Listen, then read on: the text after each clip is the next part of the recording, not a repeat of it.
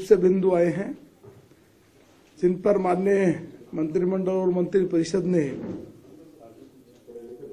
चर्चा करने के बाद उनको निर्णय लिया है। उत्तराखंड राज्य की चतुर्थ विधानसभा के प्रथम सत्र 2020 के, उसका सत्रावसान हो गया है। आज उत्तराखंड चिकित्सा शिक्षा विभाग टेक्नीशियन, जिसमें लैब, ओटी, डेंटल सीएसडीसी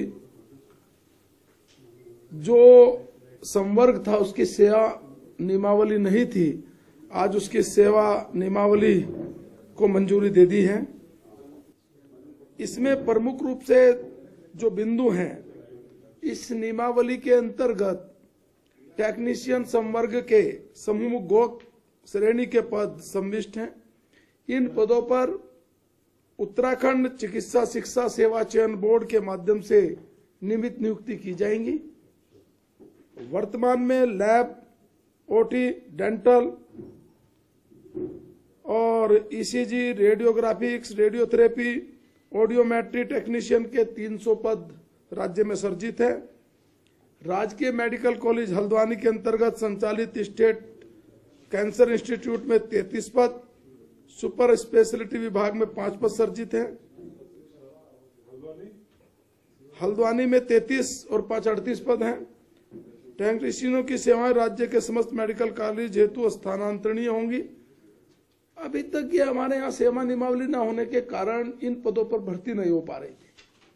और क्या था कि आउटसोर्स और अन्य माध्यमों से हम लोग रख रहे थे। आज सेवा नियमावली होने के बाद ये जो पद हैं, ये अब भरे जाएँगे।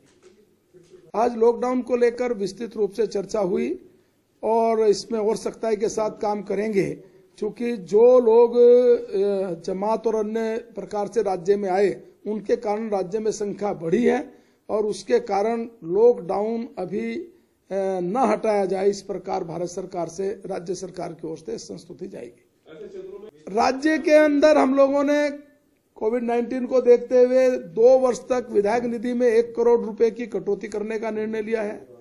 भारत सरकार के अनुसार ही यहाँ जो सैलरी विधायक और मंत्रीगणों, मुख्यमंत्री सहित सबको मिल रही है, उसमें 30 परसेंट की कटौती उसी रूप में करेंगे जिस रूप में भारत सरकार ने अपने यहाँ की है। सर वर्तमान में कितनी विधायक निधि मिलती है एक विधायक को? इस समय एक विधायक को उसके अंतर्गत तीन करोड़ पिछहत्तर लाख रुपए मिलते हैं जिसमें जीएसटी वगैरह इंक्लूड है। जीएसटी अलग से नहीं है।